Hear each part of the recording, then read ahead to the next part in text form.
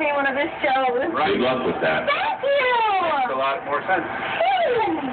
Yeah, yeah. Uh, opera, a very tricky game to break into. It is, here. yes. Do you sing anything else, or? Yes, I do. I have a song for Rick and Dory from Syracuse. Where are you guys? I hear that you both love Elvis. I got it right.